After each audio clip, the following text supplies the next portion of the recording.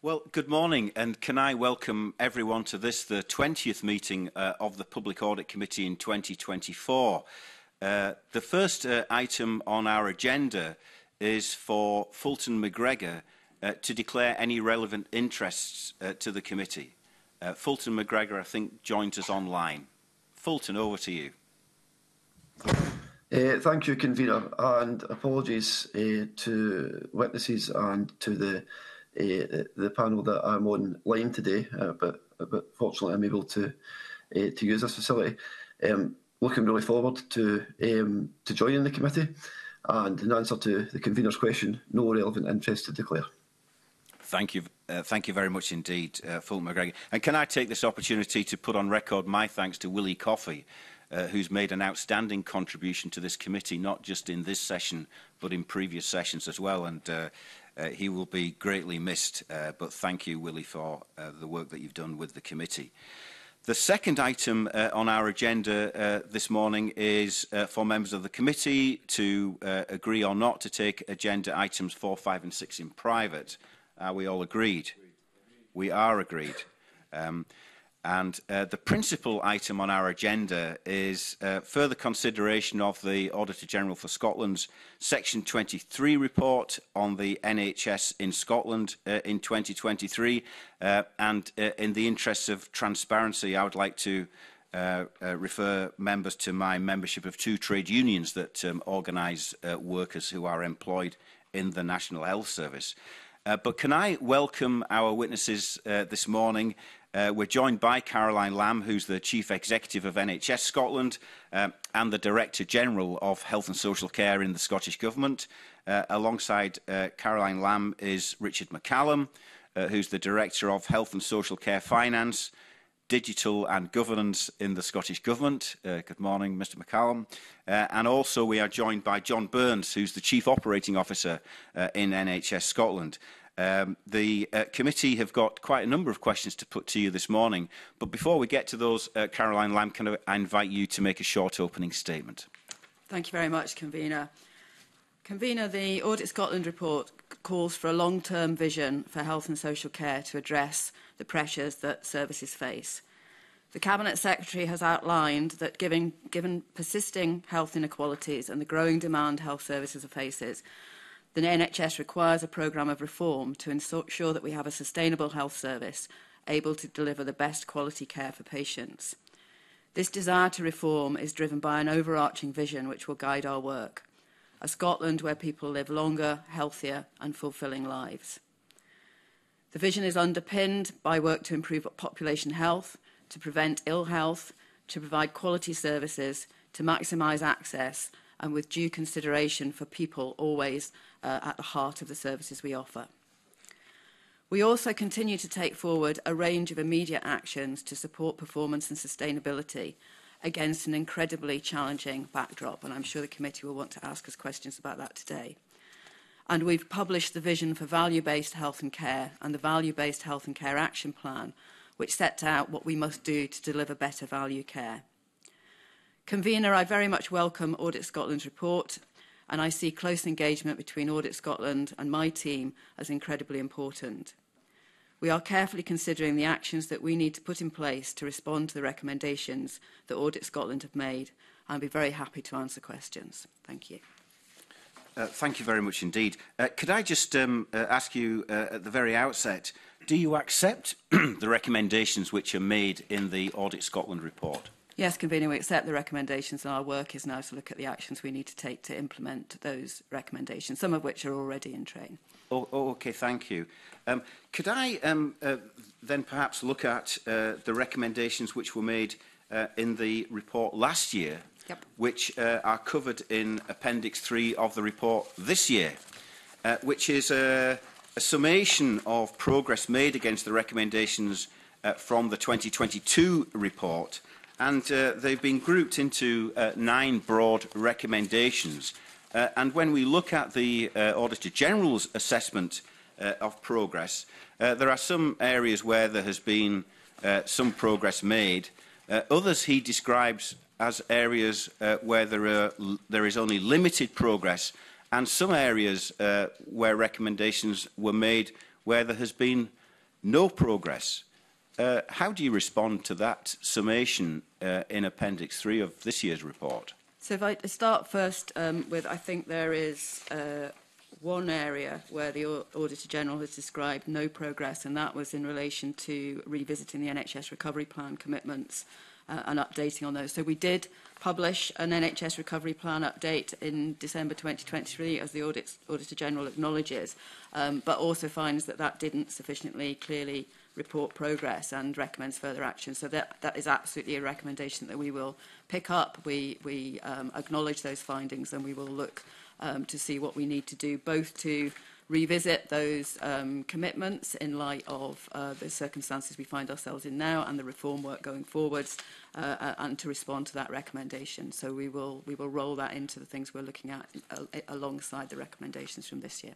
But why are you so resistant to do that? Because we, I mean, over a year ago, you were sat there and uh, you and I had an exchange about the recommendation from the Auditor General to produce annual reports so that they would uh, give greater transparency and clarity about whether progress was being made or not.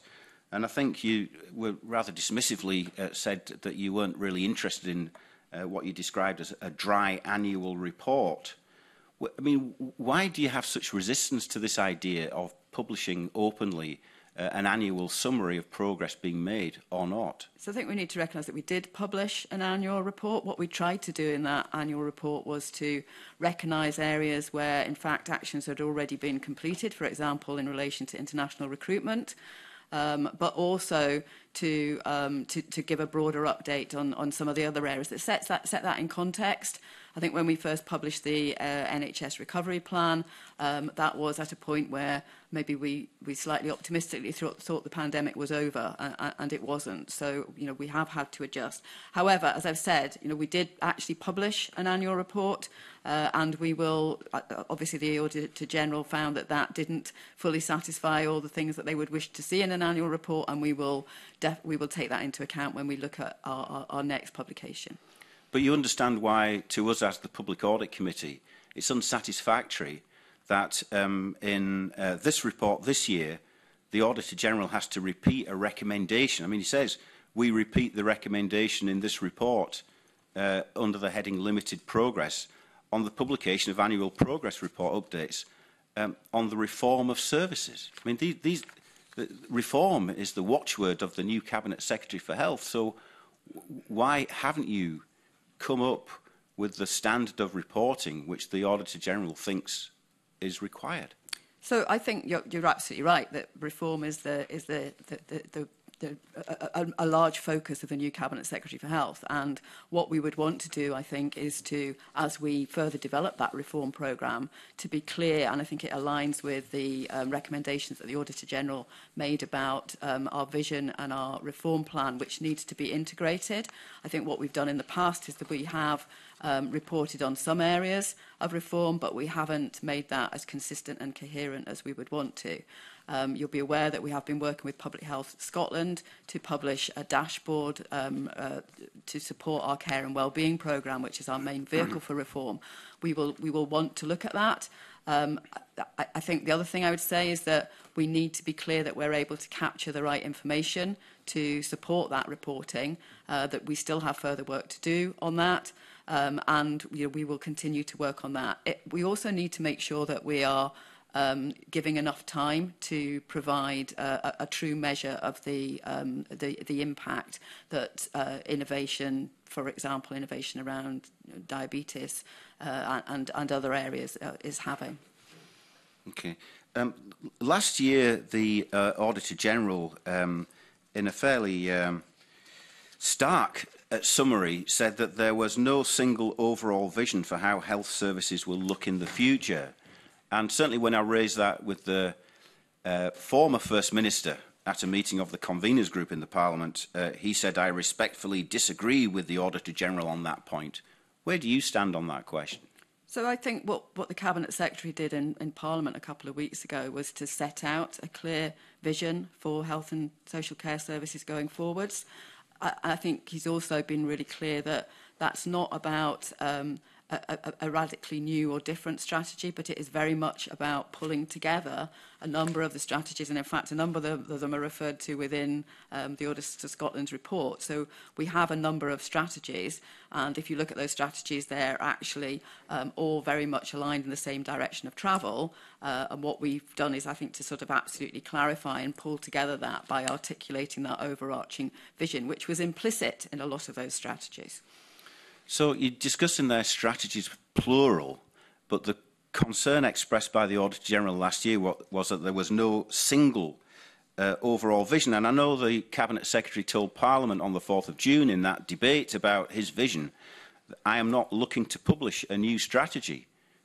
Uh, so we're just going to keep going along with several strategies, plural. So, so what the Cabinet Secretary's done is to, um, and I think what the Audit Auditor General indicated was required was a, a single overarching coherent vision, which the Cabinet Secretary has articulated. That is underpinned by a, a, a much more holistic approach to the reform that we need to take. So it, it looks at the requirement to improve population health, um, many of which, you know, that's an area in which many of the act actions that are required to be taken lie out with the health and social care portfolio. That's about, you know, a, a strong economy, good jobs, fair work, um, uh, healthy environments, uh, good housing. Uh, it's also then that the, the, the vision is the second element of the vision is around prevention and early intervention um, so that we can address um, health issues at the earliest possible opportunity. Uh, and then it also focuses on, on the need to deliver quality and safe services and to improve access to services. So, so what that vision does, and uh, underneath that vision sit those, four, sit, sit those four domains that pull together all the activities that we need to take forward, being very mindful, and I think the Audit, Auditor General recognises the interdependencies um, across the system. So, so we need to be very mindful of how we're taking those together, looking not just at, at, at acute health services, but also at the impact on, on community, primary and social care services. Um, yeah, and I noticed that one of the um, um, phrases that's used is about um, uh, treating people as close to home as possible, isn't it? That's but correct. You, but so um, there are things going on, like the downgrading of the uh, neonatal services at Wishaw General, which means that people there are being told they may have to travel to Aberdeen. How do you reconcile that with that goal? So I, th I think that's a, um, I think that's a characterisation of the, the position in, in Wishaw. Um, we have been working through the uh, neonatal plans uh, driven by clinical um, colleagues and by, by evidence about the best, how we achieve the best outcomes for the, the, the sickest babies. Um, and I, uh, we, are, we are still in the process of working through the detail of all of that, um, but the overriding um, concern there is to get the clinical model right so that the very sickest babies have the best possible chance of good outcomes. Okay, let me, let me just uh, finally take you back to uh, the Cabinet Secretary's vision and therefore, I presume, uh, the government's vision, because he told Parliament that he'd, he'd, ex he'd outlined his vision to Cabinet colleagues before he made his statement. Um, but he did also talk about the establishment of ministerial task forces, expert reference groups, stakeholder advisory groups. What are they going to do? I think the Cabinet Secretary um, and, uh, is, is very concerned to ensure that he is listening to all voices, that he's getting advice not just from within Scotland, but from systems out with Scotland, which is which is the, the genesis of the expert advisory group. I think we need to challenge ourselves as to whether there are, ways in which we can think differently uh, in order to provide the, the, the sustainable, high-quality health services that we all want to be able to provide. He's also very keen to engage with staff and to hear the, the views of, of frontline staff. We've already done quite a lot of that through the nursing the work around the nursing midwifery task force. Um, but and, and he also wants to wants to ensure that there's a conversation with the public. Um, we haven't yet published our plans around that. We're in pre-election period, um, but we will be putting a bit more um, uh, detail around some of that. And I don't expect you to give me a, a comprehensive reply this morning. But I mean, Fred, what kind of people or who is going to be on the ministerial task force, the expert reference group, the stakeholder advisory group? So the, the, expert reference group, as I've said, will be looking to um, uh, it, it, will be looking to, to, to, to, find and identify. And some of this work's all been already done, but you'll understand I don't want to name names right now. But we'll be looking to identify people who bring with them uh, expertise from systems out with Scotland that can provide a, a critical friend. Um, in terms of the, um, the, the stakeholder reference group, uh, coming out of um, the pandemic, we had the Mobilisation Recovery Group, I think that was at the MRG, if I'm getting my acronyms right, uh, which brought together a range of stakeholders. So it brought together um, uh, system leaders. It brought together um, groups like Community Pharmacy. It brought together um, uh, trade unions. Uh, and, and I think a, a number of those stakeholders have said how useful they found that, that, that group in terms of being kept informed and feeling engaged and being able to offer their views. So we're looking to that, that, that, rep, that um, stakeholder reference group will, will look to um, not rep exactly replicate that, but we'll build on what we learned through that. And is there a patient voice in and amongst all that? Yeah, absolutely, absolutely. So um, we have been working with um, both His Healthcare Improvement Scotland and their community engagement work, and also the Alliance um, and taking advice from from both his and the alliance about how we you know what how we engage with people and I, I suppose one of the pieces of advice we've had is don't go out and ask people the same questions that they've been asked before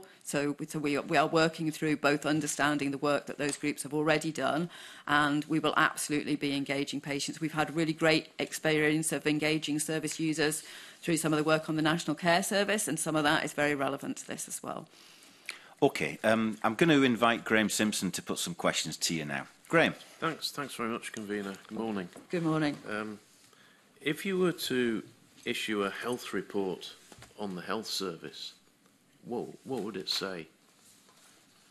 um, well, I suppose the, the, the, Audit Scotland has issued, Audit, Audit Scotland have issued a health, health report on the service. I, I, think it is fair to say that the, the, system faces quite considerable challenges and pressures at the moment.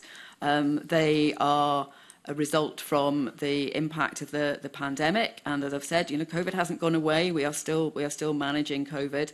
Um, they also have the health service in, in, in, common with other areas of society have also been hit by in, um, by inflation, um, by the impact of, of Brexit. So this is a system. There is no getting away from the fact that this is a system that is um, managing very, very significant pressures, a high level of pressure that we've ever seen. I talked about um, you know, unprecedented challenges. At the same time, I think it's really important that we remember that the vast majority of people get a really great service from from their and and and still report really good experience from their interactions with with health services and that that the, our staff across health services work incredibly hard day in day out in order to provide those services uh, there are also still lots of opportunities. I think we have opportunities in, in relation to new technologies, to innovation, Um, and to, you know, we, we have been working on continual improvement across our health and social care services uh, for a number of years now, uh, and there are still opportunities in that space as well.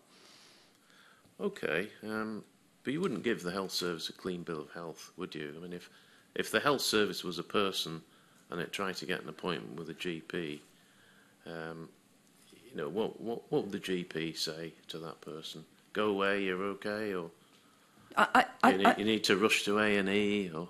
I think we need to be really clear that there are um, aspects of our health services that are under significant pressure and continue to be under significant pressure.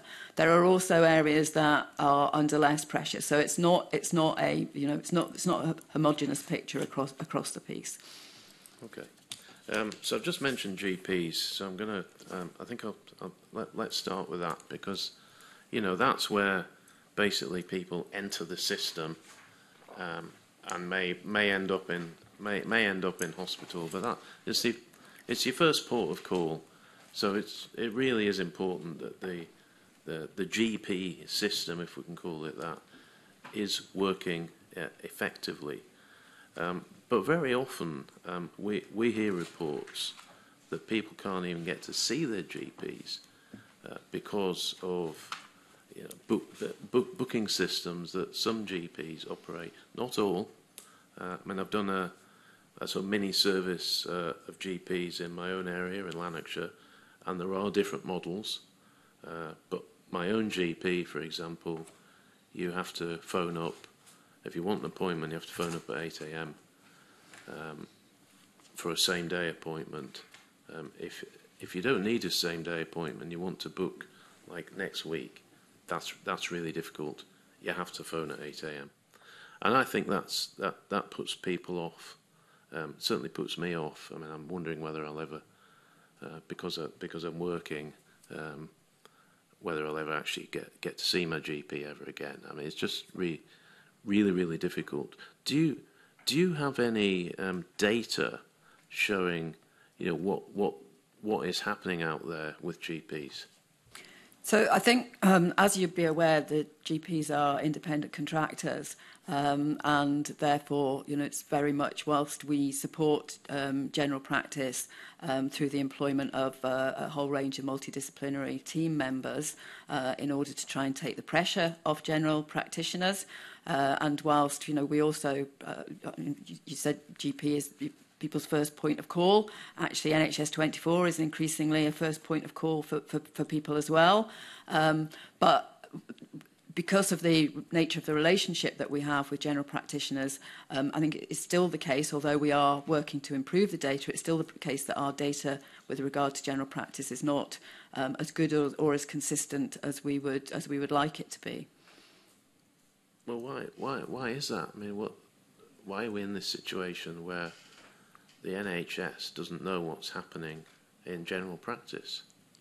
I, I think that's that's the sort of long-standing issue around the different uh, difference in the relationship between um, the the bits of the NHS that um, you know, uh, acute boards where um, effectively, you know, we, Scottish Government has access to all that data. In general practice, then, then Public Health Scotland have been working, excuse me, have been working very hard to improve the quality of data, but some of that is down to individuals' practice, practices' willingness to um, engage with those programmes as well.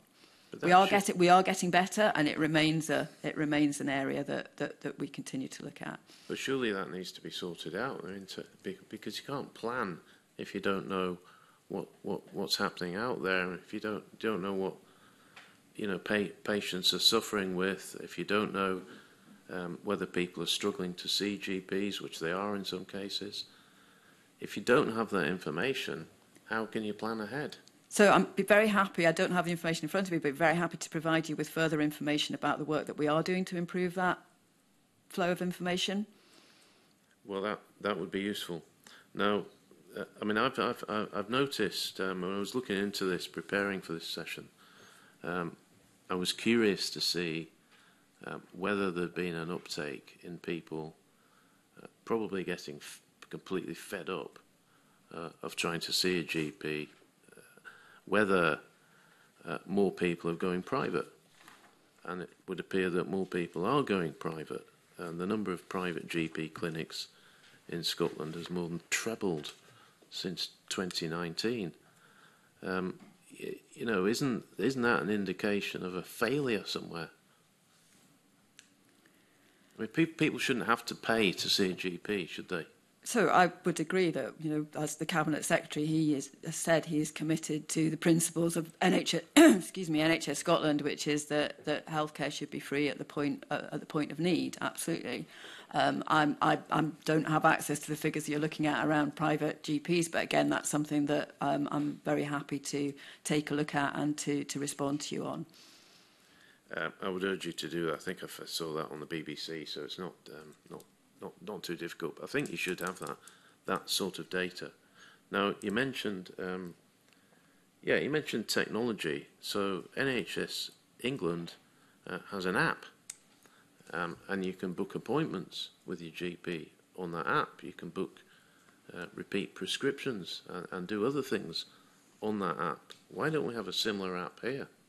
So you, you're right. NHS England does have an app. You can't um, appointments with every single GP on that app, but they have been very successful in engaging with that. I think that, so we have in Scotland our digital front door programme, uh, which is uh, absolutely about giving people better access both to their own health information and to health information that will, you know, will support them uh, to, to, to look after their own health um, but also around, you know, the ambition is um, to move towards increasingly enabling people to interact with appointments, um, not just in, in GP, but also in the acute sector as well.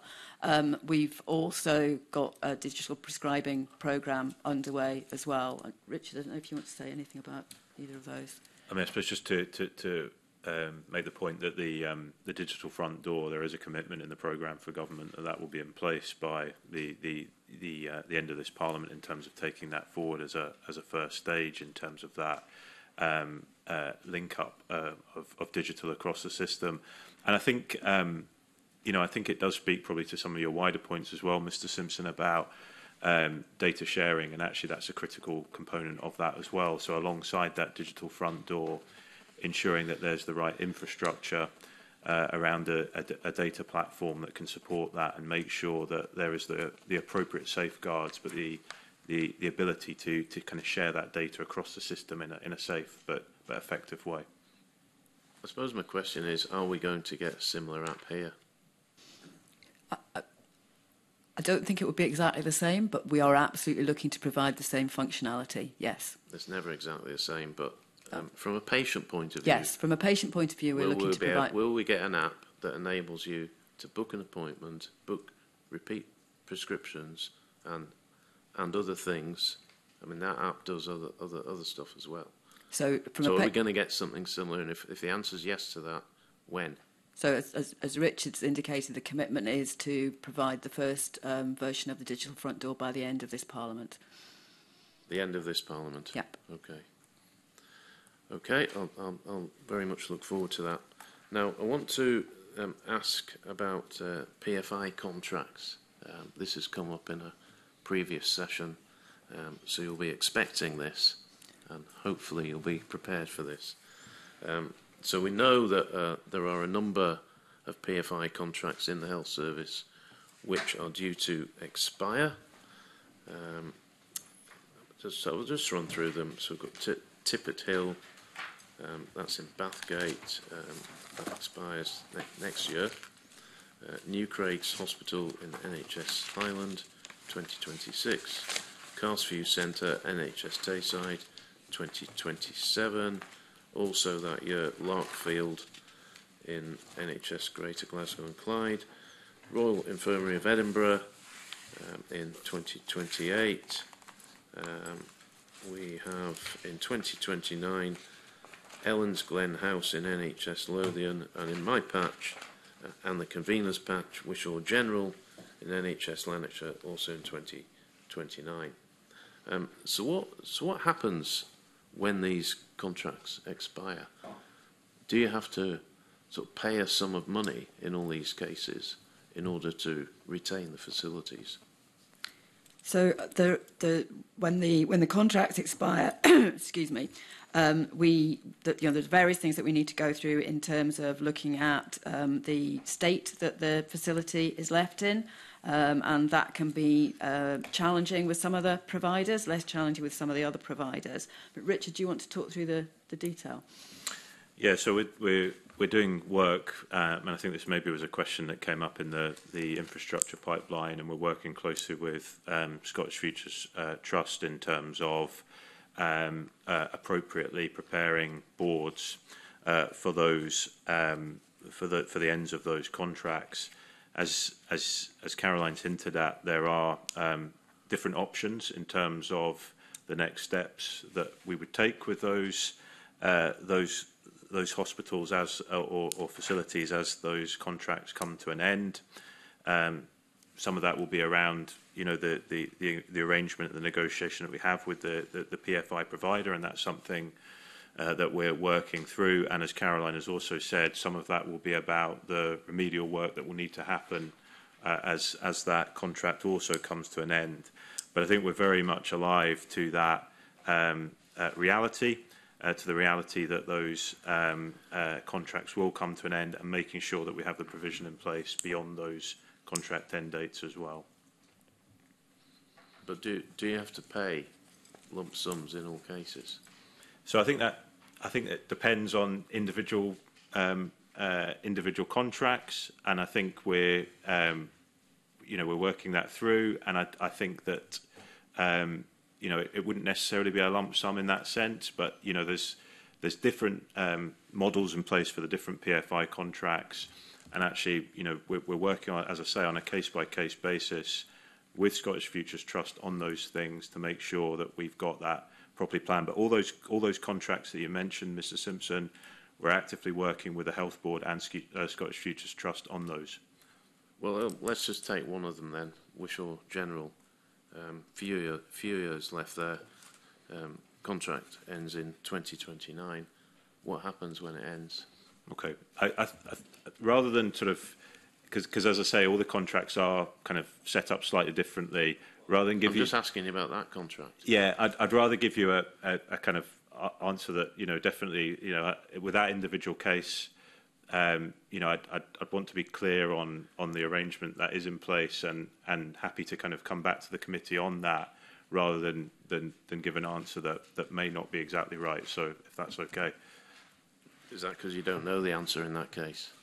No, I, I, so well, in in this instance, yeah, I think to give you that kind of full and detailed, uh, you know, position on what uh, on the action that we're taking, yes, I'd rather take that step. So all, all I'm asking is, is, is that uh, in that case, would the NHS have to pay a sum in order to retain the use of Wishaw General?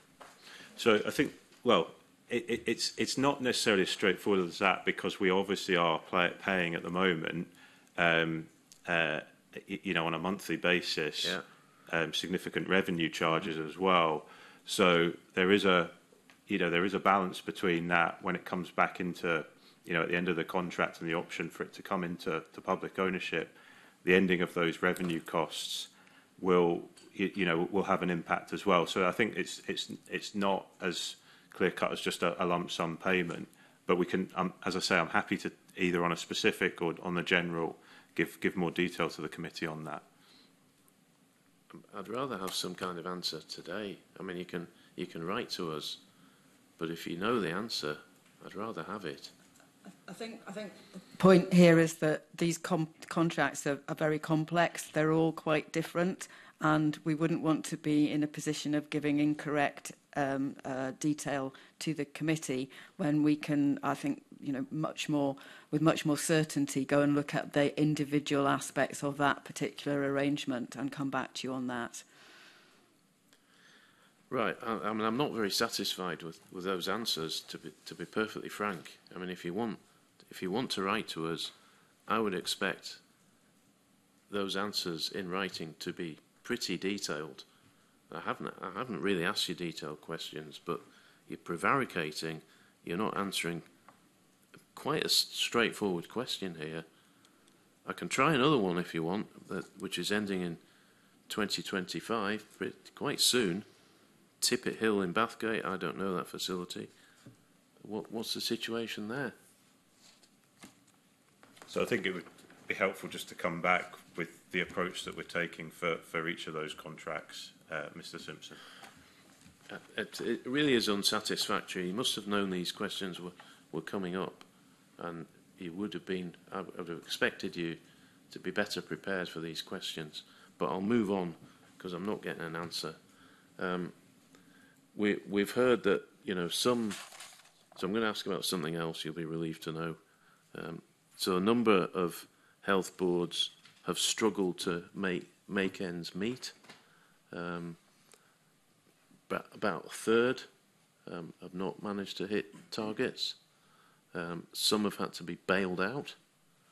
Um, that's not a sustainable model, is it, for the, for the health service?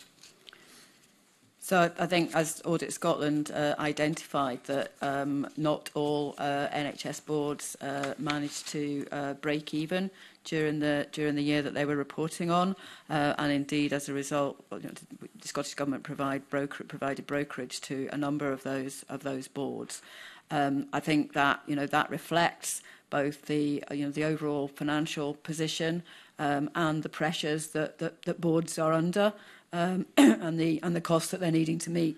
Sorry, I've got a little cough going on.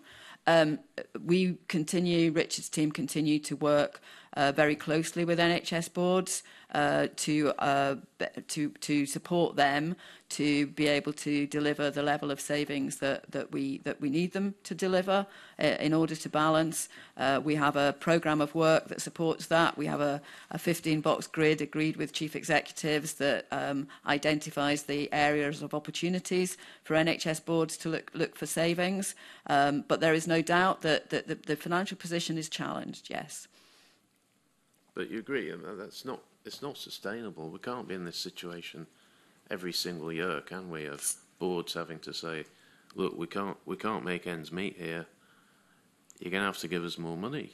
So I think that one of the reasons why you know the cabinet secretary has been really clear about the need for reform um, has been around the fact that we, going forwards, the demographic change in our population means that we do need to uh, be very mindful of how we provide more sustainable services going forward. And that's why, um, as part of the overall vision, um, the domains that I described earlier, there is such a focus on both um, uh, population health, so having a healthier population, and also more preventative and early intervention measures, uh, because we do need to be intervening at at the point where, um, frankly, it's cheaper to do so than, than, than when, when people, people get more unwell. Uh, while we're doing that, we also need to manage the position that, that we have at the moment, which is that we are dealing with you know, very, very significant demand uh, and our resources are limited. Final question from me, convener. Um, do you think there are too many health boards? So I think that, you know, I, I refer again to some of the things that the Cabinet Secretary said, which is that um, I think that at the moment our focus needs to be on maximising the our performance, our delivery, based on the, the systems and the structures that we have. We need to focus on not how many organisations we've got on the landscape, but how we best provide services for, for patients. That may mean that in the future we need, we need reform, and that may absolutely need, we mean we need to look at that. But I think, I think at the moment this is about designing, looking to design services in the best possible way for people, um, and then looking at what does that mean in terms of the, the number of organisations patients that we have. Okay. Thanks, Convener. Okay, thank you very much. And really just to emphasise uh, uh, Graham Simpson's point, um, I mean, we're, he's asking questions about PFI contracts uh, varying in value, one of which is coming to an end at the end of next calendar year, 2025. So it isn't that far away. So I think we would expect you to have a bit more detail to, to uh, furnish us with this morning. And the question he asked about Wish or General uh, is pertinent uh, because of the value of it. I mean, it, the value of that is, is 100 million pounds uh, uh, in capital value terms. Uh, some of the other ones we I recognise are quite, you know, one's due to expire at the end of 2029 and is valued at 2.7 million pounds. Probably quite small fry in the overall scheme of things, but a, a larger one like a, a, a significant uh, general hospital uh, that's coming up to the end of its PFI term, I think we would expect you to have a bit more detail to give us uh, on this morning. Um, can I also just um, uh, follow up another point um, uh, that Graham Simpson made, and that is this thing about savings. I suppose maybe you can help me, because I don't quite understand why, when year on year we are seeing real terms increases in the NHS Scotland budget, uh, year on year, certainly territorial NHS boards are asked to come up with savings. What, I mean, could you explain that to me? I, I think the, the, the, the explanation is fairly straightforward in that whilst we have provided year-on-year increases to NHS budgets, actually the, the, the vast majority of spend in the NHS is on staffing costs and is on the, the medicines bill. And uh, but in both those areas, uh, you've seen you know, increases in staffing to in order to, to meet demand. Uh, we have um, managed to achieve pay deals with the unions that's meant that we haven't seen any industrial action, but there is a cost associated with that. Uh, and in terms of prescription costs, prescription prescription costs consistently run higher than the, the normal range, rate of inflation, um, taking into account new medicines, new therapeutics, and, and, and everything else that the public rightly expect to be able to, to, to get from, from the NHS. But doesn't a territorial health board have a budget for staffing?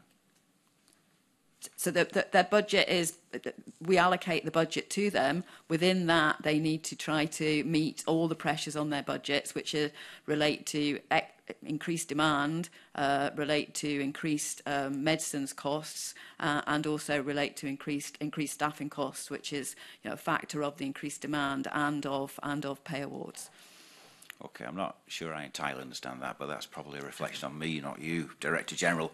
Uh, Colin Beattie wants to put some questions to you. Colin. Thank you, Convener. Um, I'd like to touch on governance.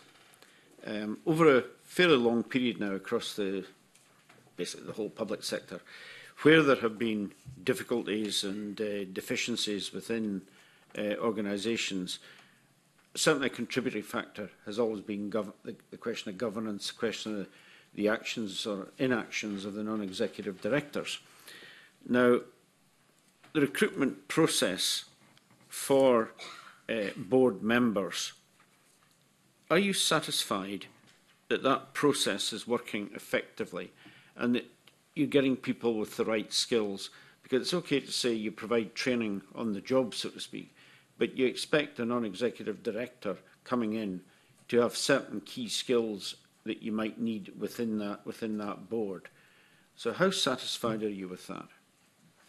So the, the recruitment of non-executives goes to the public appointments process. So it is a rigorous process um, and we, we are very clear about the capabilities that, that we're looking for in that. Um, that's driven uh, you know, partly by what we would look for in a non-executive, but also by the particular requirements in boards. So we expect boards to do their own analysis of where they might have gaps in expertise around that, that around the board table. So we've seen, for example, in recent years, boards go out specifically to recruit people with experience in running big, big capital projects, as, as an example. People with experience in, in, in, in finance would be would be another example. So the recruitment process is, is I, I, I think, robust. Um, clearly, we need to then make sure that we've got the best possible pool of people uh, um, applying for those posts. Uh, and we have done a lot of work looking at ways in which we can spread our net a bit wider and get a more diverse um, group of applicants into into NHS boards. So uh, I think I think we are looking both at that trying to attract the best possible people, ensuring that our recruitment processes appoint the best possible people, and then ensuring that they do get that get support um, and training once they're, once they're in, in the post.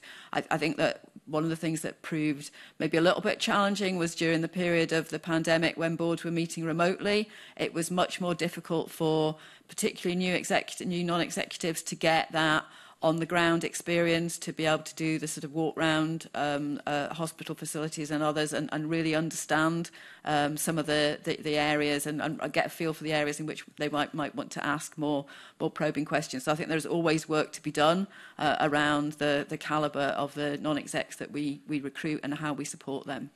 How do you monitor the effectiveness of the non-execs? So the, the, the blueprint for good governance has a number of different aspects to it. And one of those is around the assessment of the performance of non-execs. So that is, um, that's a, a role for the chair of the board. Uh, and that is something that, so I, I do uh, an annual appraisal interview with, with board chairs, and that's one of the things that I pick up with them in terms of how they how comfortable they are, how they are um, uh, reviewing the performance of their their own non-executive members as well. Where, where are you with the implementation of the revised blueprint for good governance?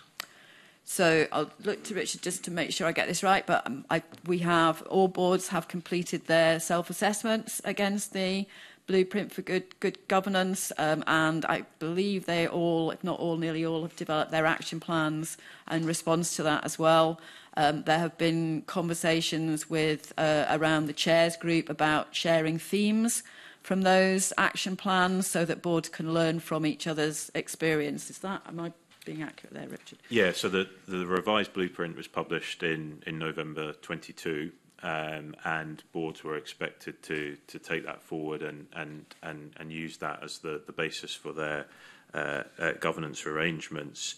Um, as the Audit Scotland report actually references, um, there has been a self-assessment that has taken place, uh, and that started in March uh, of this year. Uh, and all boards have, have undertaken those self-assessments. Now, I think the critical thing from, from our perspective is the, um, the review of those self-assessments and, and indeed uh, some of the verification that's done around that. And we have, we've started to roll out a process whereby um, there is that review and scrutiny of, of the returns. And as Caroline said, that's drawing out some of the key governance uh, themes that boards need to consider. But if the revised blueprint was published in November 2022, why is it March 24 before any action's taken? So, so, so, so just sorry. Uh, so, just, so just to be clear, it's it's not that no action was taken after the publication. Um, you know, boards, as I say, were, were expected to work within the the, the um, framework of that blueprint, and indeed, you know, there was the blueprint previously that they were uh, working to as as well. The, the, the self-assessments were, were, were undertaken in, in, in this year as a kind of supplementary to the work that we'd have expected boards anyway to be taking forward as part of the implementation of the blueprint in, in November 22. And have the board come up with uh, significant areas of improvement? Yeah, so as, as, as Caroline says, there's, there's a number of areas where um, uh, uh things are operating well, but there are areas where, um, you know, particularly um, boards have recognised there is areas for strengthening, some of those in relation to the points around uh, review and understanding of financial reports and, and how that plays, uh, plays through. Um, uh, it would be, would be just one example. But yeah, there's a, there's, a, there's a range of things that they've identified. And as they take the self-assessment next year, we'd, ex we'd expect that actually um, significant work will have been undertaken over the course of this year to, to embed those points. Just touching on a point you raised there about uh, being able to read financial reports, I mean, I would have expected that a, a non-exec would have certain basic skills like reading a balance sheet and this sort of thing. Uh, what are the base skills you expect? I mean, I realise you move from you move, someone comes in as a non-exec in the NHS. There's certain peculiarities to the NHS that they have to get their heads round, and that's where they need the training and development to to be most effective in that. But there must be base skills that you're looking for to provide the basis for them to be able to to cope. So, so yeah, absolutely. I think we would be looking for so across non-executives, we would look for an understanding of good governance. So, absolutely an understanding of particularly in the NHS of a criticality of financial balance, but also understanding of risk and, and the management, the board's role in overseeing risk across the domains of both financial balance but also performance, staff governance and clinical governance. Um, uh, we would also be looking for them to be um, have some experience of um, engaging with partners, um, given that the, the role of the, the, the relationships between boards and particularly their local authority partners is absolutely pivotal in, in relation to how IJBs function and how social care function social care functions Um, and we would also, I think, be looking to, um, as I've said before, we, we will also sometimes look for particular skills and, and expertise. So that might be around you know, public engagement, uh, might be around you know, communication skills, it might be around particular experience in big capital projects. Um, so the boards themselves will assess areas where they think they need, they need strengthened. But I suppose at the core of that is experience in, in, in some of the, the basic governance um, processes uh, for, for large and complex organisations. And you say you, know, you would expect somebody to be able to, to, to read a balance sheet. I think I think mean, the complexity of, of, of, the, of the NHS and understanding um, that link between financial balance, performance, um, and, and, and clinical clinical governance and staff governance is, is, is really important because the board plays an important role in ensuring that um, we are not, you know, we, we are balancing off those, those domains. I mean, a key to this is the support that the Scottish Government should be giving to address these challenges in recruiting, both at executive and at uh, board level. So what's being done to ensure that there is effective leadership development taking place in here and that succession planning, which is absolutely key, is uh, in place across the, across the sector? So you're, you're absolutely right about uh, the importance of succession planning, both on the um, non-executive and particularly for chairs, but also for executive posts. Uh, and through NHS Education for Scotland, uh, we have been running uh, two programmes in particular. So one is the Aspiring Chief Executives programme, which identifies people not just from within the health system, also people working in the social care system as well, um, and uh, who, who have both the aspiration to be chief executives and also through their performance of demonstrating that they have um, the qualities to be able to aspire to be chief executives. Uh, we've been running, so we've been running a program um, for aspiring chief executives. In the same way, we've been looking at our existing cohort of uh, non-executives uh, and individual boards have been identifying again those who have the potential to become chairs of boards and we've been running an aspiring chairs program alongside that. So that, that sort of sits on, on top of some of the, our other development opportunities as well. Moving to something a little bit different. Um, boards are being asked to find recurring uh, savings of 3%. How is the Scottish Government supporting Boris to achieve that? Because it must be incredibly difficult to achieve at this point, because I can't remember when uh, boards were last not being asked to find recurring, uh, recurring savings. So what support is being given? Yeah, so so I think you're right about about the challenge, and if you look back at what boards have delivered over the last few years, it's clear that the, you know, the, the, the easy options um, are, have, have already been, been taken. So it is really important that we provide boards with support. Um, and I, I you know, referenced the, the, the 15 box grid earlier, um, which is a, a, a, a series of, of, of measures agreed with chief executives. Um, but we also have a finance support unit within Scottish Government that provides um, tailored or, or, or more general support to NHS boards. Richard, do you, want, do you want to say something more about that? Yeah, so I, I, I think um, probably a couple of things. One, um, you know, certainly during the, the, the pandemic years, um, I, th I think just given the, the focus that the boards had on the immediate service pressures, it, it did create a challenge in terms of making the, the same level of recurring savings that they had in, in past years and um, 3% is a, is a challenging target, and it is a challenging target to do that on a recurring basis. I think there's probably two things, though, that, that are absolutely key. One is what Caroline's already referenced in, in terms of that support, and some of that support around data. So some of that the data around prescribing spend, around agency spend, and looking at those comparisons between boards. And there are actually a lot of opportunities that boards have identified – by looking at that comparative data. I think the other thing is is is just the um, uh, if you like the space and and and and time to for boards to work through those options as as well. Um, and I think that's really key. So whilst we can come up with national ideas, there will be stuff that is relevant to local health boards as well. And um, I think that close dialogue with with all 14 territorial boards and eight national boards about those challenges that are maybe specific to those local systems is is, is really key um, as well. And, and and I think we've been you know we've been quite clear from from well in advance of this financial year that that's the expectation around the three percent saving. So um, it has given boards you know a run in, into it in this financial year. They're not being landed with something at the start of the financial year and saying go away and do that.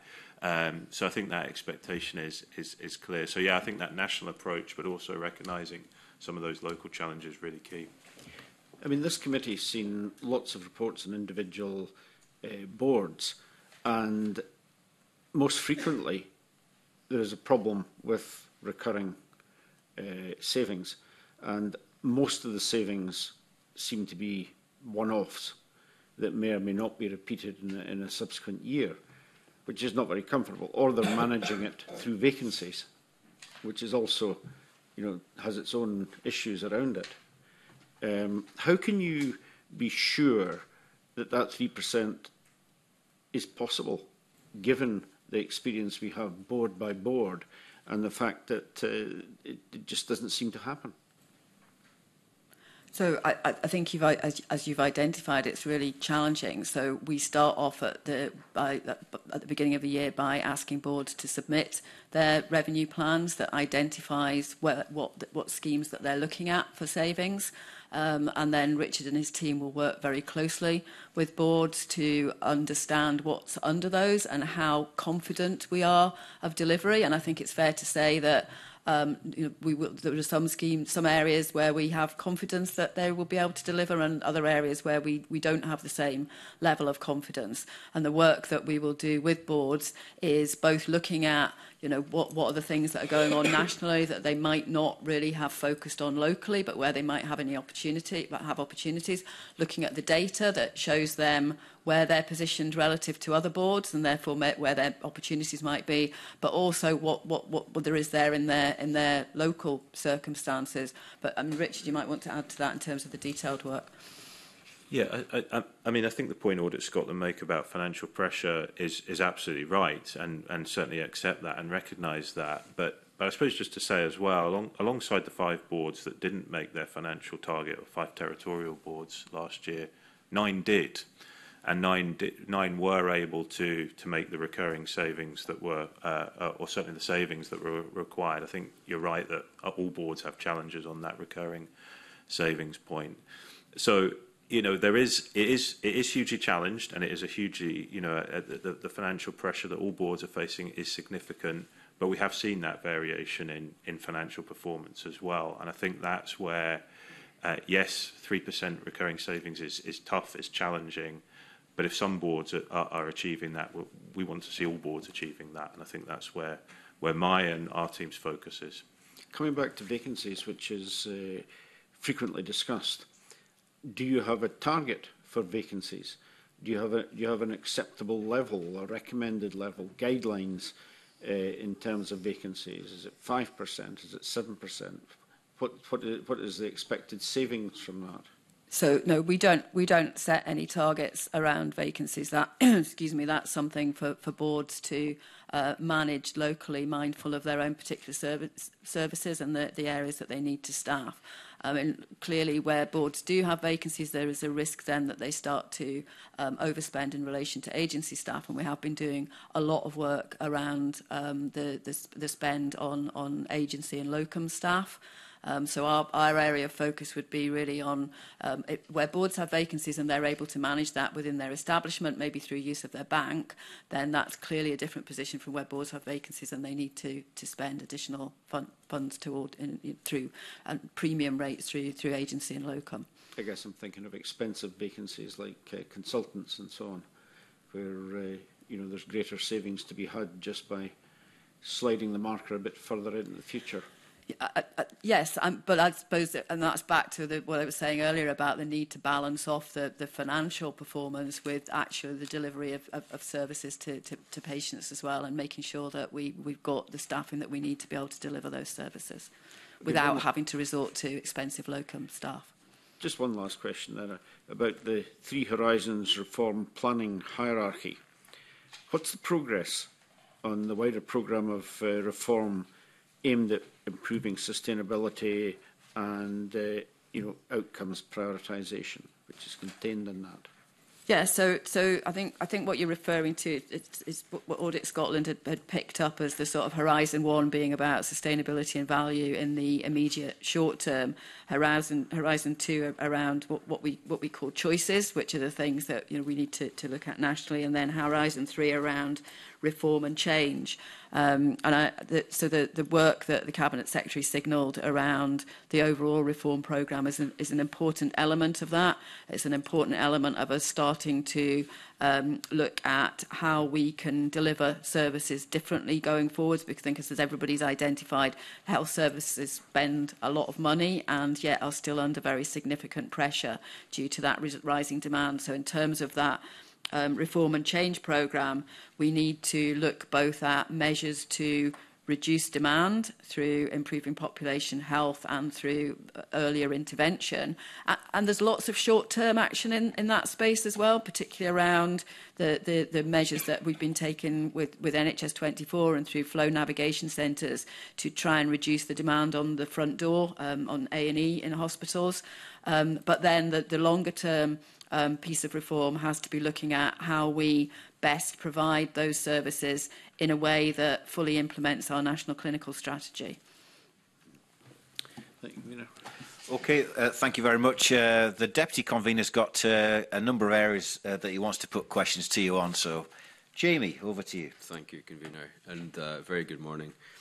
Uh, I'll try my best and see if my voice lasts for this session. Um, Islam, as you can probably hear, I'm recovering from uh, illness and including uh, COVID. And I thought I'd maybe just share a little story with you because I think it's probably indicative of one that's shared by many people in Scotland. Um, when I was unwell, um, I made the decision to call uh, 111 for assistance, as is the advice. Um, I picked up the phone at 8 pm and I've just checked in my mobile the data. Um, I was on the phone for two hours and 24 minutes on that call trying to speak to somebody. Uh, the call itself wasn't answered for an hour and 12 minutes, so I was in a, in a waiting queue uh, with many, many other people, presumably. I expect many of those people simply hung up, but I hung in there as best I could. Uh, when the call was answered, it was dealt with obviously by a non medically trained operator who did their best to assist. But, but the outcome of that two and a half hour phone call was simply if you feel really bad, go to the hospital or we'll get an out of hours GP to call you back. I said, yes, please. On the latter, the out of hours GP eventually called me back at two o'clock in the morning. So that's some six and a half hours after I first made the call. The outcome of that conversation was if you feel really bad, phone an ambulance or get yourself to hospital. Otherwise, call your GP in the morning, which I duly did. And this is the third and final part of my story. I called the GP at three minutes past eight that same morning and was told there were no appointments left because it was three minutes past eight. They said, and guess where this is going, call 111. Or if you feel really unwell, get yourself to hospital. I suspect that's an experience shared by many people. Does that sound, does that really sound like an NHS that's working for people? So the first thing I'd say is that I'm I'm really sorry that you had that experience. Um, that is not um, the experience that we would be looking for anybody to have. Um, as I said earlier, we have been um, investing in NHS 24 um, in a number of ways. And, and um, one, uh, were you at any point offered a call back? Yeah, they called back at two in the morning. Yeah. Were, and I have to say, they were all Sorry, lovely. And I'm really grateful to every person I spoke to who, who were clearly really overworked and doing their best. Um, but I think you get the gist of my point, is that yeah. you end up in this vicious cycle where the only option is to present to A&E, and we all know the problems that they're facing. Yeah, so, uh, so absolutely. And uh, again, I'm really sorry to hear about that, the, the experience that you had, because that's absolutely what we would not want is for people to be sort of going through multiple routes, but then ending up and potentially ending up back at the same place. Um, and I, I, I think that you know, we do obviously monitor the performance of NHS 24 and we are aware that at particular, particular peak times that people are waiting longer than necessary. We continue to work with them to do more we can, including as I looking to see how they can put in place mechanisms that don't mean people have to wait on the phone, that they can, be, they can, get, they can get a call back. Uh, one of the things we've also been doing with NHS 24 is, is working on their online information as well, um, so that people can work through um, something that's not quite an app but like an app in terms of the, the, those, those decision, decision points. But I appreciate that that's not for everybody and it doesn't cover every health concern. John, is there anything you want to say about NHS 24 and the work we're doing with, with them around um, access? Yes, thanks, Caroline. And, and I, I think the, the, the points you've made and, and, and caused me to reflect in terms of uh, how we're developing our flow navigation centres and that link from NHS 24 to get, uh, if, if 24 feel it's appropriate to refer uh, into a local system, to do it through the flow navigation centre where there are clinicians that can uh, engage with the caller and determine what is the best uh, um, uh, care uh, for them. Uh, so that is an area I think we have to do much more work on in developing our flow navigation. We've got some very good examples across Scotland, and what we want to do is build on those good examples.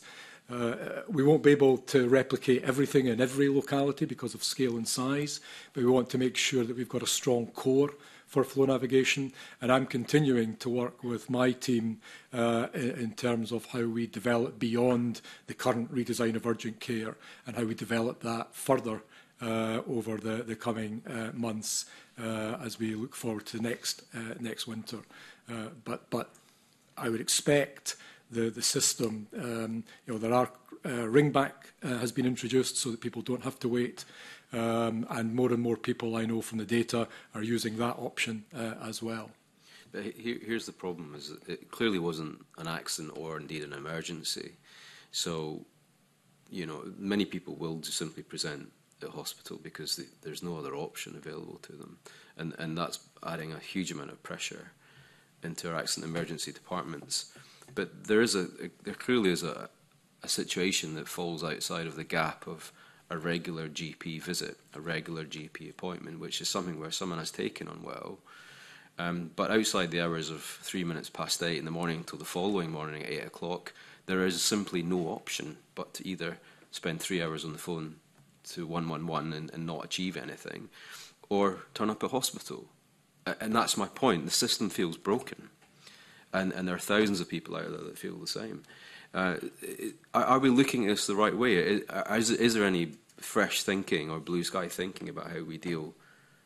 with people who want to speak to a clinician as quickly as possible, but don't want to burden the hospital system and, and absolutely cannot get an appointment with their GP for sometimes for weeks on end. There's got to be a middle ground somewhere, and it doesn't sound like there is one. So, so, so I, I would agree with you. Our, our, our, our intention is that, that 111 NHS 24 should be that middle ground.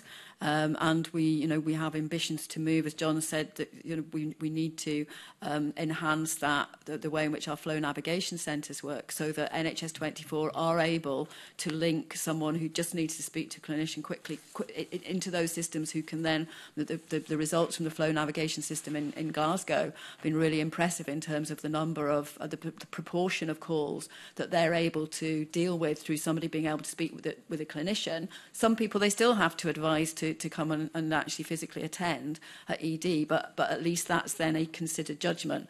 So yeah, that, I'm, I'm, again, I'm sorry that you, you had that experience. We continue to work with every bit of the system to try and Im improve that. Um, and our, you know, our overriding Uh, uh, ambition, I suppose, is to, to only have the people who really need to be presenting at A&E, um, presenting at A&E. Uh, there are other options around minor injuries, but we also need to ensure that that, that provision and that signposting is, is, is, is better than it is at the moment. So where are we at with A&E at the moment? There's been a lot of discussion about it recently. Um, in terms of how long people have to wait once they get to A&E. There's a four-hour waiting time target. Uh, that target uh, I believe, is 95% of people should be admitted, discharged, or transferred for treatment within four hours of presenting. What is the current statistic? So, our most recent published I'm going to get confused manage yeah. management information here, but I, I suppose we've been consistently running in terms of the published information. It's sort of mid to, to mid 60s to, to high 60s mid 60 So about 65 to 70% yes. yeah. is the current yes. performance rate. Okay. So that's dropped since September 23. It was seven, sitting at over 70%. That's dropped considerably since September 2018 when it was 92%. In fact, you almost made the target. Yeah. Um, but it's we're now saying two two in three people two in three people will not be seen within four hours. Is that right? So, so, so those are yeah, those are those are the figures, and the, the, our, our performance is is well below where we would want it to be. I think when we're comparing with September, we just need to be a bit careful because um, you know we're we're sort of co still coming out of the winter is, is how I would describe it. I know it's I know it's June, even though the weather doesn't feel like it, but um, the the challenges that we have at the moment, and if we compare the position that we're in at the moment compared to where we were pre-pandemic, I think there are a number of things. One is, you know, the impact of the, of the pandemic um, and the fact that we have COVID in our system and that's needing to us to, that, that's still having an impact both on staff absence and on having to close wards and, and, and deal with the infection prevention control issues. The, the second element of that is that we are seeing uh, our hospitals much fuller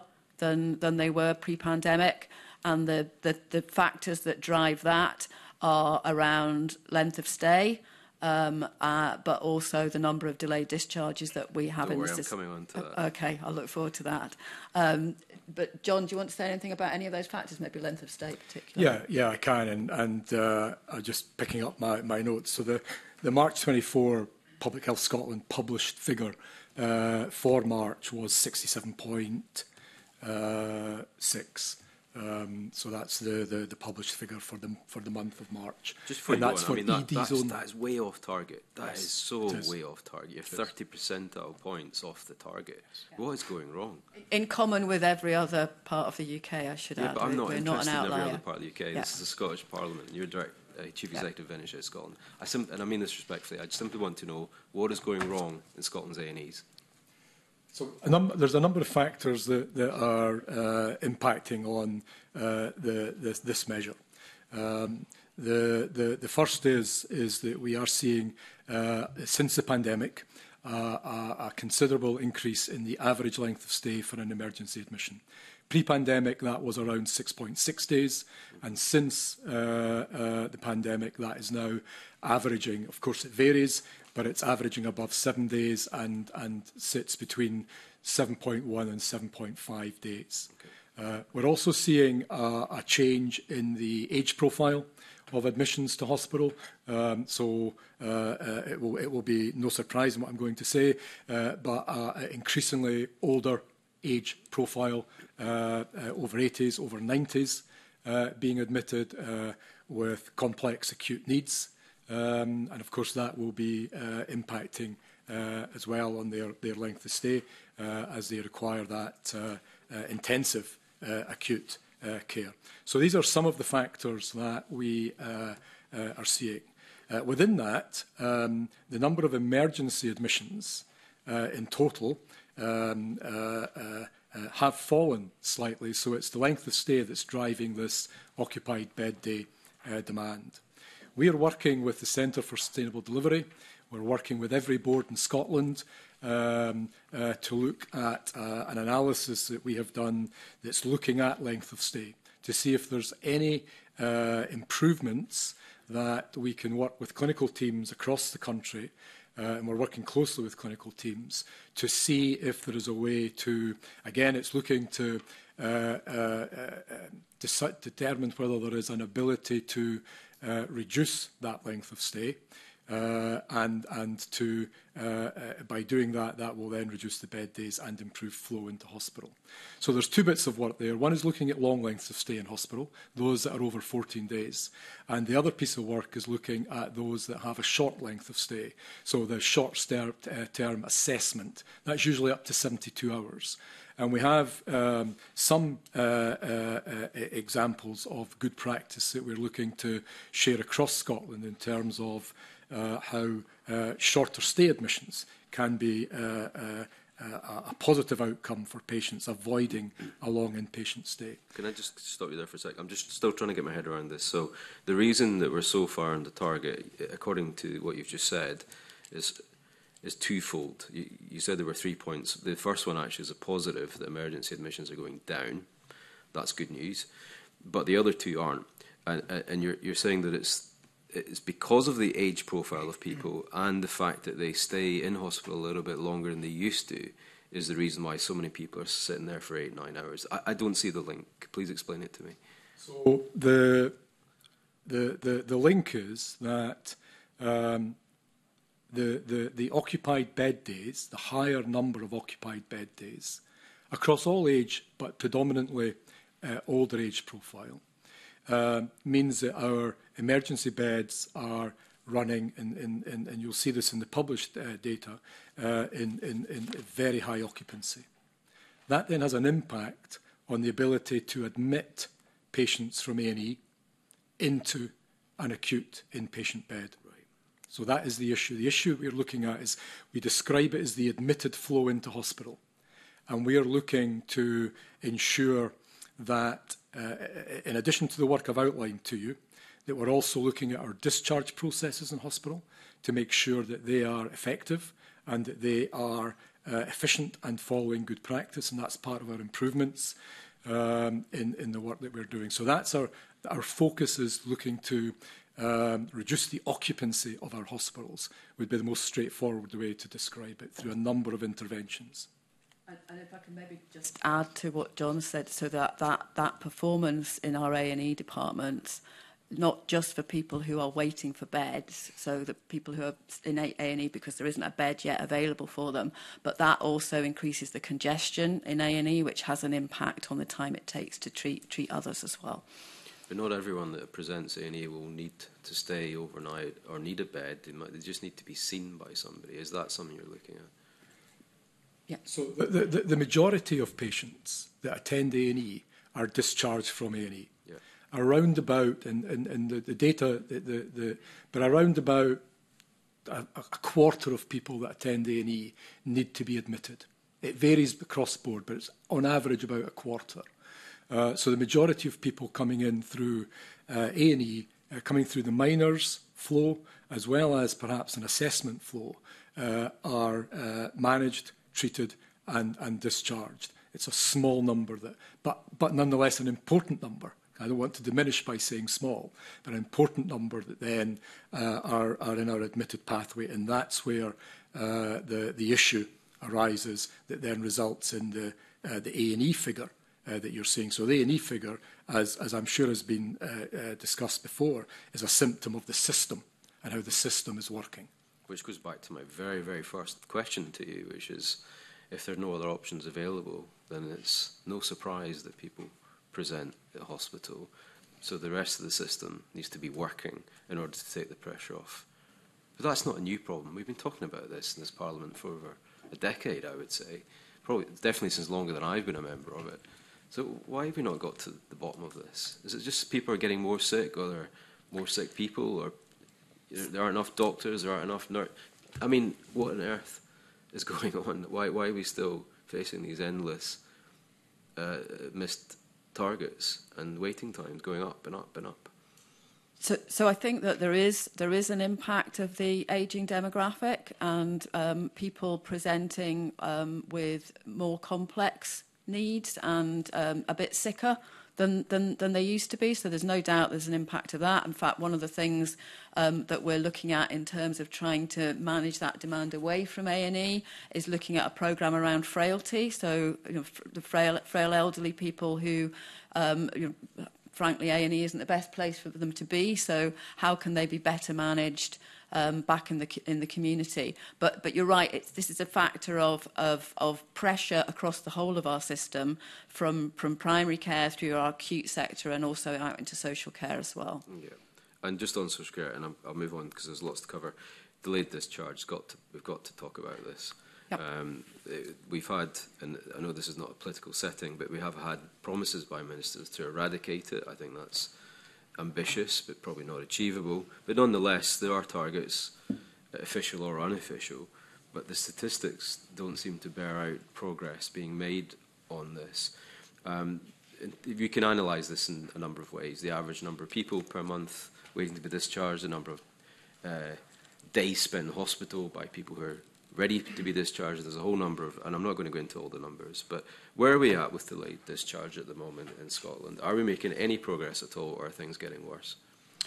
So I suppose if you look just at the most recent public statistics, they don't paint a very pretty picture. So the Public Health Scotland um, statistics from April 24 um, had uh, delays uh, added up to 57,433 days. That was up 12% compared to April 23, and it's around 40% more than we were sitting at pre-pandemic. And that, yeah. that's an indication of just you know, what, what John and I were saying about how full our hospitals are. And the median length of delay has also gone up. So um, that is, that, that is um, a, a, a, that, that is a, a very uncomfortable statistic, not least because you, that's people behind all of that and people who are being cared for in the wrong place and a place that is, is, is not going to be the, the best place for, for them to be. So um, we continue to work incredibly hard with our partners in local government and through integrated joint boards um, to see what to to see what more can be can be done to improve delayed discharges. I think there, there's a couple of bits of work that are underway at the moment. Uh, one is is just looking at what further improvements can be made um, in in relation to discharge processes in the acute sector, um, uh, social care staff knowing when somebody's due to be discharged and therefore being ready, um, being able to be in a position to be ready to to accommodate them. Um, and that builds on, on work that's been ongoing for some time. It, that is one of the areas where I think we've made huge strides in terms of data. Uh, so in the autumn, we launched a data dashboard, uh, which gives local systems, so health and social care partnerships, health boards, and indeed local government, access to data around social care provision um, and number of delays in their area, but also being able to make those comparisons to, to other areas, so to be able to identify areas maybe with sim similar demographics that are, are, are potentially do, doing better. So that's you know, one is just on that focus of continual improvement, recognising that there is not a whole heap of extra money to invest in the system. So we're focused on, on continual improvement. Um, it's not continual improvement, it's continually getting worse it, it, may well be we've got to balance off the increasing pressures on the system against the increasing efforts and the you know the, the finding of, of new ways. To, all of this is incremental. The second area that we're looking at is um, particular types of delays, so around particularly adults with incapacity um, who tend to be delayed for longer because some of the legal processes that need to go through and actually are the, some of the most vulnerable in society um, who, if anything, you know, we need to be able to um, uh, expedite um, their discharge into more appropriate settings. Um, and so there's some work going on to look at what are the, the, the broader consultation, but also work going on within the existing legislation, what can be done that would expedite us being able to maybe have more consistency from lawyers across local authorities in the way they deal with that, um, but also be able to, to work closely with families in order to get those people into the place that's much more suitable for them and indeed to release capacity. And I appreciate that, that update. Uh, the problem with delayed discharge, or as it's commonly called, bed blocking, is it is exactly that. It is bed blocking. Um, and that's presumably bad for two reasons, because the person that's languishing in hospital that shouldn't be or doesn't need to be there would rather and should be somewhere else, wherever that somewhere else is. But equally, there's someone at the other end of the spectrum who's on a waiting list, and we all know what waiting lists look like at the moment, who could be occupying that bed. Um, it sounds to me like half of the job is yours, you're doing your best, but the other half of the solution is not working because you can't discharge people if you've got nowhere to put them if there's no plan in place to look after those people. You have a duty of care to look after your patients, and you wouldn't want to send them out to to their homes with no care package, with nobody to look after them. So you keep them. I understand that. Um, is, is that your mitigation? That we we've done as much as we can, but the local authorities haven't got the money to look after folks, so we have to keep them. I don't think we can uh, quite literally afford to be in that position because when we're keeping people in acute beds, then that is a more expensive. Not, not only is it not right for them, but it's also um, a more expensive um, place, and it's it's part of the financial, the overall financial challenge. So um, we are not in a world of saying, well, we've done all we can do, throw our hands up, and, and it's over to them. I think that First of all, um, there are, there's always more that we can do. There's always more that we can do around um, breaking down those barriers between health professionals and social care professionals. I think you would commonly find that health professionals are a bit more risk averse when it comes to discharging people. And typically, if they're assessing somebody in a hospital environment, they will assess them as needing more care and support than if they were to assess them in their home environment where they're more comfortable and it's more, more familiar. So there are things that, that we need to do with that. Equally, um, we are working very closely and currently the Cabinet Secretary is convening uh, a meeting jointly chaired with Councillor Kelly, who's the COSLA spokesman, um, uh, once a week uh, with system leaders, absolutely to look at the data, to look at what progress is being made yep. and to uh, uh, identify any other areas where we can take more action. Mr McCallum, this must make for very uncomfortable listening. You're Director of Health and Social Care.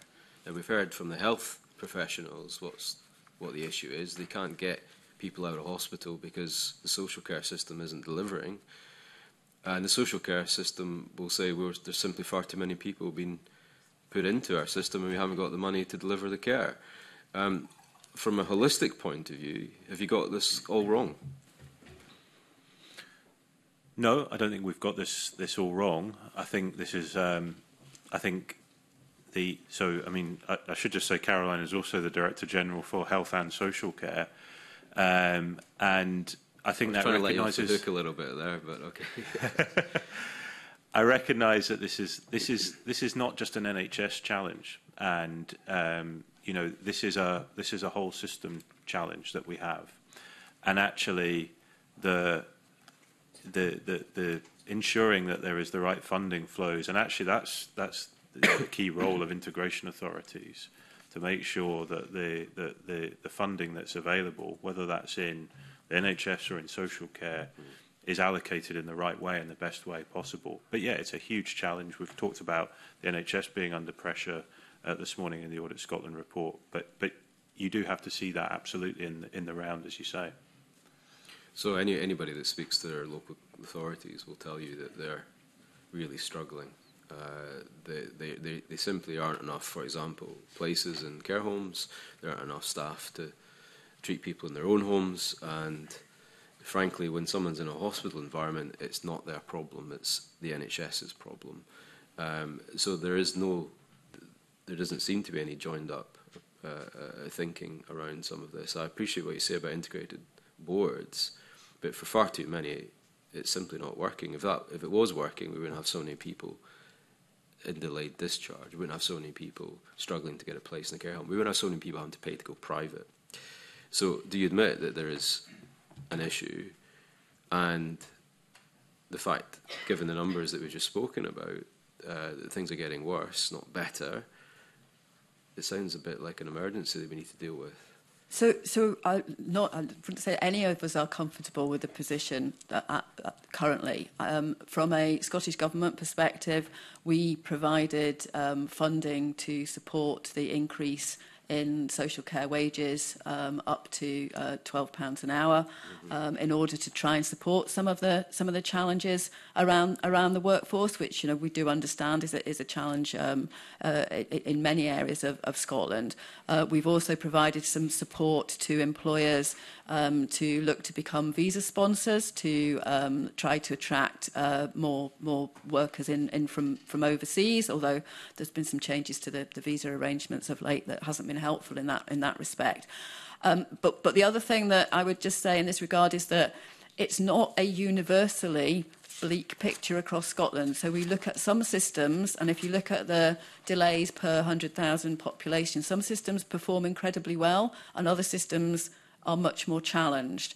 And the work that the Cabinet Secretary is doing with Councillor Kelly, their leadership that they're provided, is really about trying to challenge what it is that makes some systems be able to perform well uh, and in a way that, that you know is really is really good for people um, and other systems are much much more challenged and that the data has been absolutely critical to all of that.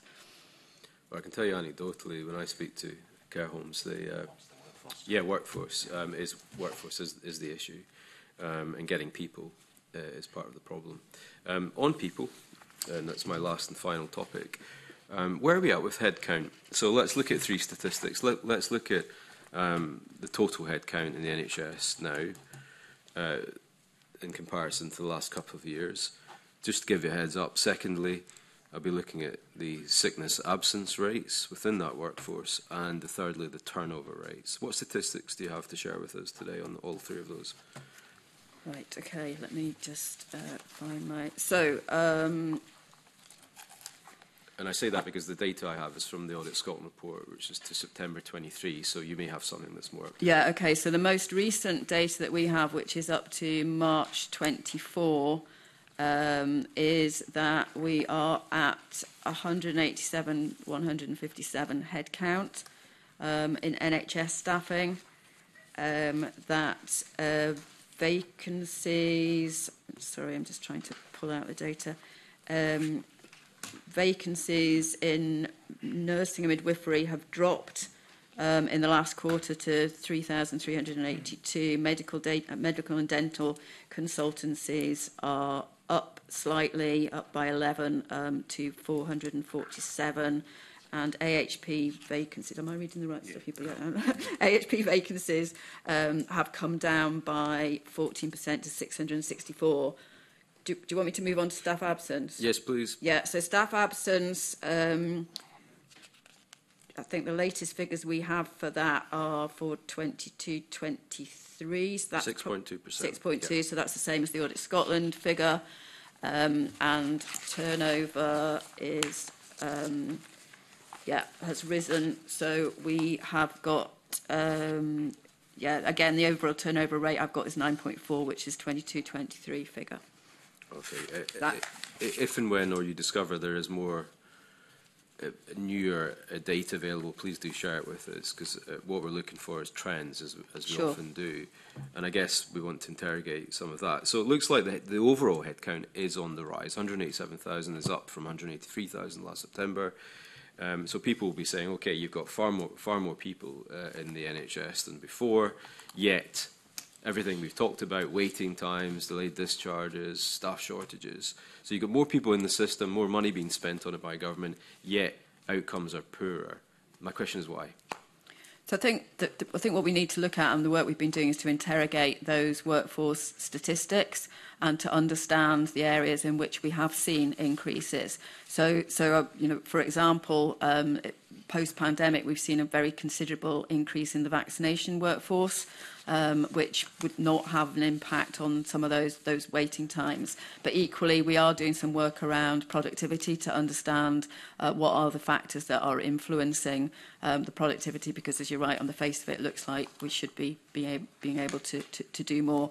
I, I think that the point that we were discussing earlier around delayed discharges is also relevant here because our boards, um, many of them open up surge capacity during the winter uh, in order to deal with increased occupancy levels and then find it very hard to, and that, that all had to shut that down, that all has to be staffed as well.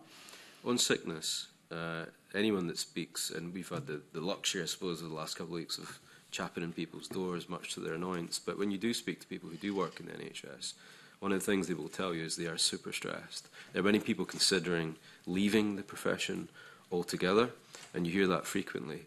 Uh, absence due to stress, absence due to long-term health issues uh, seems to be an issue.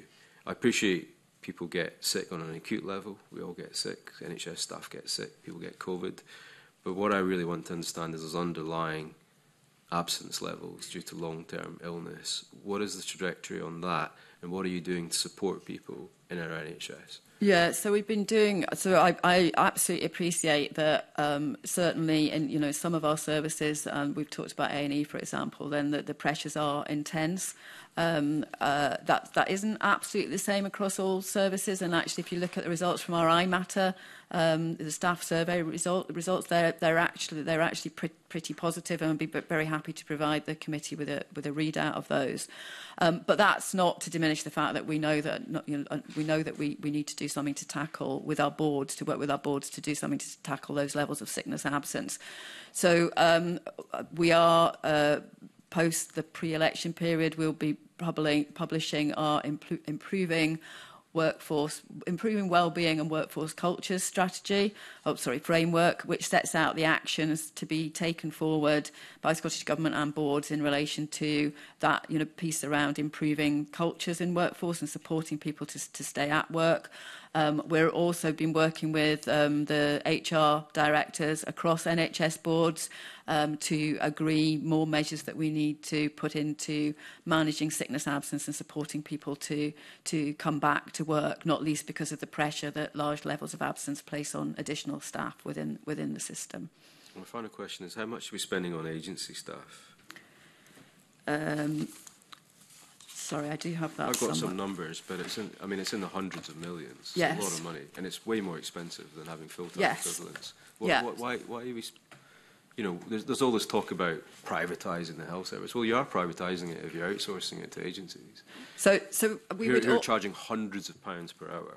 Yeah. So, so I would absolutely agree that that um, some of some of the agencies, some of the surcharge and some of the premium rates agency charges are completely unacceptable.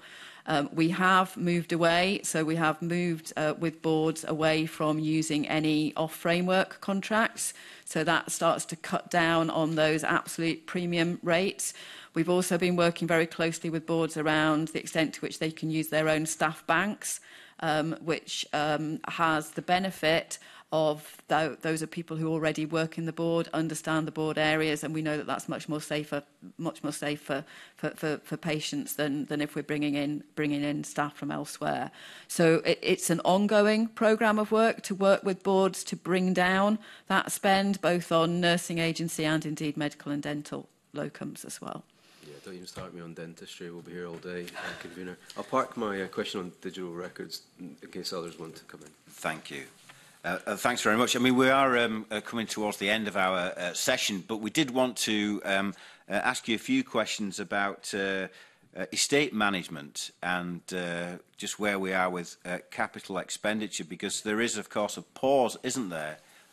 on uh, capital investment.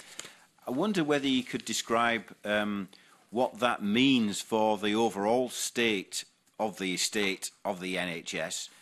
Uh, but secondly, could you uh, answer with particular reference to where we are with the national treatment centres, because they were uh, proffered as being a part of the solution to some of the things that we've been speaking about this morning. Yeah, okay. I'll, I'll maybe start with the National Treatment Centres and then um, Richard can tell you a bit more about the work we're doing around a, uh, an infrastructure plan. So um, as, as you were and as you've referenced, we've had to pause, given the overall constraints on the capital budget in Scottish Government, we have had to pause development on a number of the National Treatment Centres. So um, we do expect that the Forth Valley and the Golden Jubilee Phase 2 um, will will come into uh, come into um, operation uh, during the course of this year, and they will obviously, um, alongside the, the, the national treatment centres we've all already opened, will provide additional procedures. However. Um, even had we been able to continue with the national treatment centres, they wouldn't have been open particularly quickly. So um, we have been looking at what we can do within the existing estate to um, tackle some of those waiting list issues. Uh, we have already committed the first 30 million out of a planned 100 million investment. That's been targeted at some of our longer waits. Um, and John can talk to you more about the detail about how we're spending that money, but that's basically being spent on on um, uh, increasing capacity, so you know, extra sessions within our existing estate, uh, making use of theatre capacity that we already have available, and also using mobile units in relation to that broader question about um, the uh, where where we where we want to go and how we're planning for um, that NHS infrastructure. John, uh, sorry, Richard, do you want to say something about the work you've been doing with boards on that? Yeah, so I think I think there's maybe two two two points to this. Um, I mean, the, the first, and I think um, Alison Stafford's written to you maybe in the last week or so, convener, about the overall infrastructure investment plan, and and clearly, uh, as in capital, e, perhaps more so than revenue looking at that on a whole Scot Scottish Government basis is really key because you know there are key capital projects outside of health um, that that you know the, the, the you know need to be looked at in in the round. So so so we're very kind of uh, you know we do recognise that point and actually the the importance of the, the capital investment plan in health uh, needs to be part of that wider uh, infrastructure investment um, pipeline. I think on the point about um, uh, with we, what we are doing with NHS boards. So we've asked boards to, um, rather than just see capital and infrastructure as a single thing, to look at that as part of their wider whole system plan. So if they're planning on a population health basis, and we know that there's movements in the population, so looking ahead 30, 50 years, uh, you know, what is the, the, the infrastructure that they will need to support those population changes, taking into account all the digital points that we've also um, uh, discussed as, as well this morning. So we, we expect those, those plans uh, to, to come back from boards over the course of, of this year. But I mean, I think just on the, the, the wider point about the existing estate, so typically we're spending somewhere in the region of 300 to 400 million on, on, on capital uh, and, uh, and investment in, in the portfolio. About half of that tends to be around new investment. So, you know, we've talked about the, uh, the, the treatment centres and, and one or two other projects. The other half tends to be on that maintenance of the existing estate, so equipment replacement um, and, and some of the, the, the, the upgrades that we also need. And that's specifically based and targeted on the, the, the, the, the maintenance backlog that we have uh, in, in the system. Yeah, because there is a uh, quite a considerable backlog of maintenance, isn't there, which again is highlighted in the Audit Scotland report. I mean, what, what are the Scottish Government's plans to address that? So, uh, so as I say, I think the, the, the key, and, and actually in, with the, the envelope that we do have uh, as a portfolio, what we uh, uh, e-, endeavour to do is, is, is, is target as much of that towards uh, Uh, equipment replacement and that backlog maintenance as, as we possibly can. Uh, I mean, backlog maintenance is, is categorized as well between what is considered low, uh, moderate, and, and then significant and high.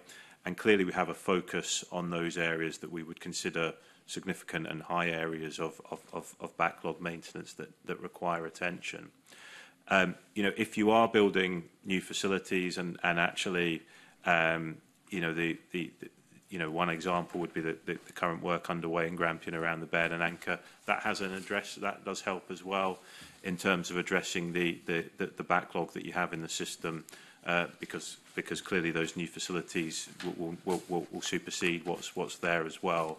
So that's the, the, you know, the focus is ongoing around that, that backlog maintenance. We use the existing envelope that we have to target those areas and that's where, where the focus is, convener.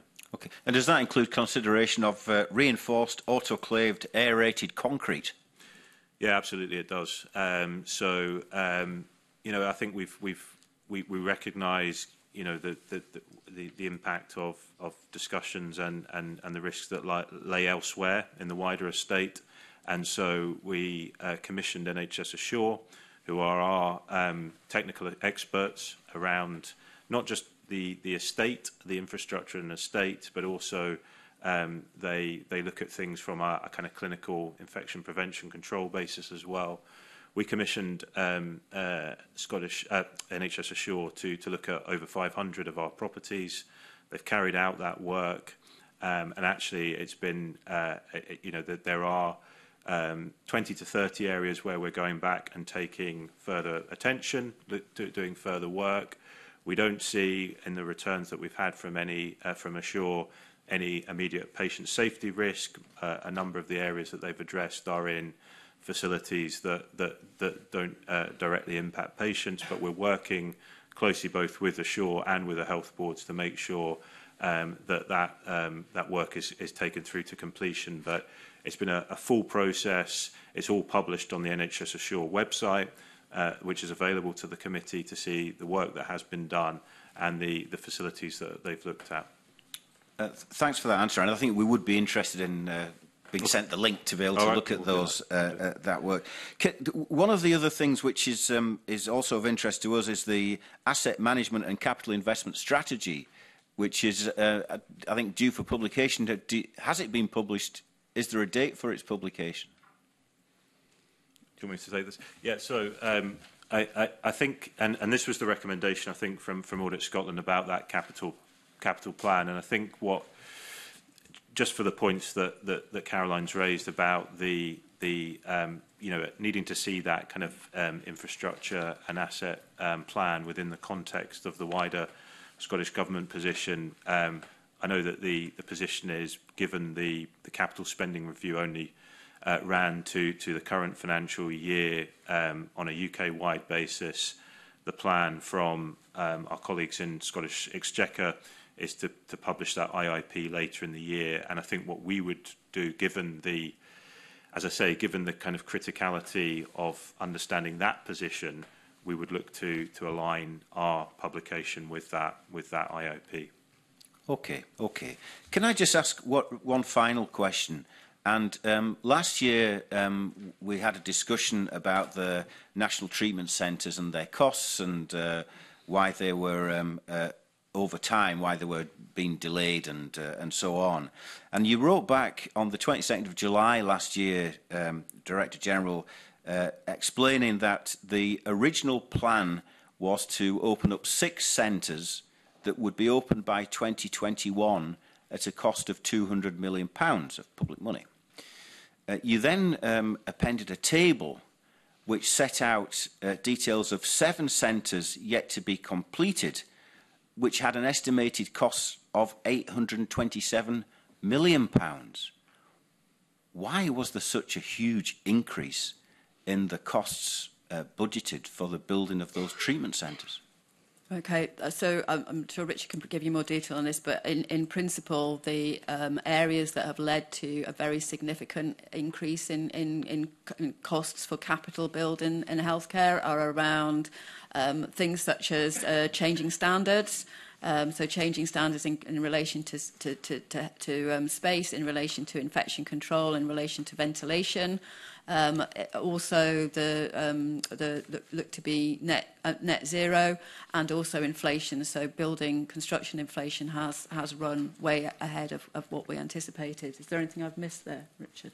No, I, th I, th I think I think that's the key point. I mean, even in the the, the, the relatively recent past, the uh, last four or five years, um, infrastructure inflation has has significantly outstripped uh, wider inflation, and I think that point um, just the hospital footprint, uh, largely driven by uh, the importance of, and, and quite rightly, around infection prevention control measures, it has increased the footprint of hospitals and indeed um, planned treatment centres significantly, and that's had the big driver on such a, a significant increase in the cost.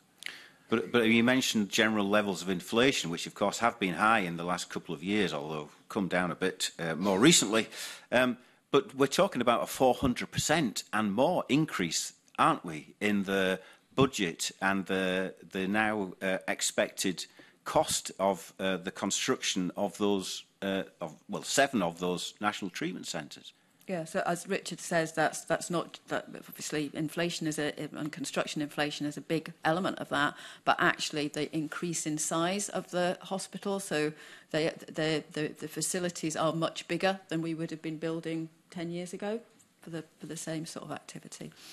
Okay, so what's the current um, estimate of costs for those seven treatment centres? So so I think just in terms of the the um, the two that that are due for completion that Caroline's mentioned, I think we've previously shared that for Fourth Valley um, it was 11.1 million. There may be a, a slight increase on that because of the the inflationary pressures we've mentioned, and for the Golden Jubilee Phase Two, the 82.5 million that was was previously shared uh, with the committee. Um, it, it depends a bit in terms of how you break down the the the the the additional um, national treatment centres, and indeed, because I think those two are included in that seven. Um, but the, the, given the, the pause that there's been with the remaining five, we still think those remaining five will be in excess of, of seven, 700 million. But the, the plan needs to take, uh, take into account that the full business case, because we have paused at the moment those programs, those full business cases aren't developed.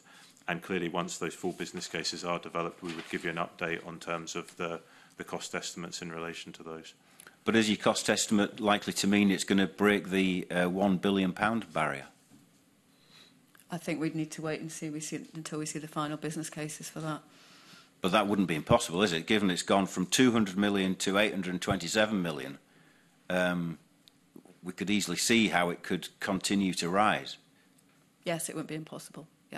Okay. Right, well, thank you very much. On that note, uh, I'm going to draw this morning's uh, uh, session to a close. Uh, Caroline Lamb, can I thank you for uh, answering the questions we've put to you this morning, John Burns as well, and Richard McCallum. Uh, thank you for your input.